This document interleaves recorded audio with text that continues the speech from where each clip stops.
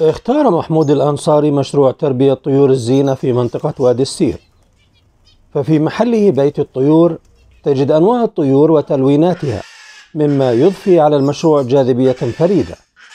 سنكتشف في هذا التقرير سحر تربية الطيور من التحضير للرعاية الفعالة مرورا بالتسويق وصولا إلى الاستدامة في عالم مليء بالألوان والحيوية حيث تتحول هواياتكم إلى مشروع مثير يحمل في طياته جمال الطبيعة.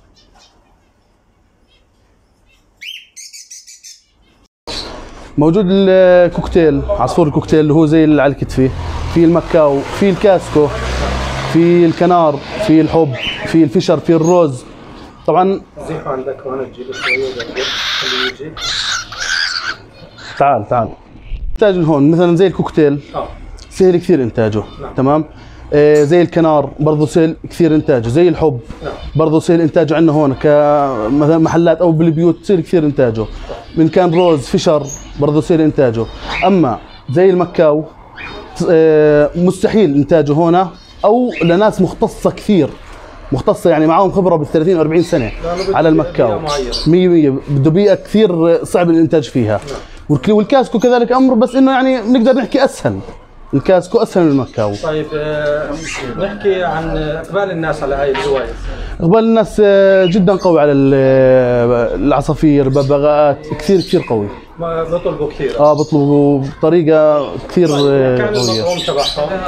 المط- الطعام تبعهم إن كان للكوكتيل مطعمهم مثلا بأكلوا بذور القمح بأكلوا الدخن بأكلوا البزر. البزر الني طبعا مش المملح إذا بأكل المملح ممكن يموت من وراها 100% نحكي عن آه، نصيحتك للناس ما يطعموهم أي شيء.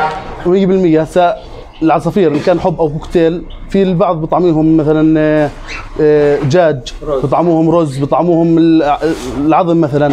هذا شيء كثير غلط. لأنه بيعمل له ممكن يعمل له سلمونيلا بتدمر العصافير هي بشكل عام. بننصحهم إحنا نعطوهم مثلا فواكه خضار طبعا مش كله مثلا زي الكاسكو إذا أكل الأفوكادو بنفس دقيقه بموت. باكل الكاسكو هو الخص نص الوحيد باكل كل شيء تنصحون بالخلطة اللي لكل طير. الخلطة لكل طير زي الكوكتيل له خلطة معينة زي الحب له خلطة معينة الكنار له خلطة معينة كل عصفور له خلطة خاصة فيه. حتى يحافظوا عليها بطول 100%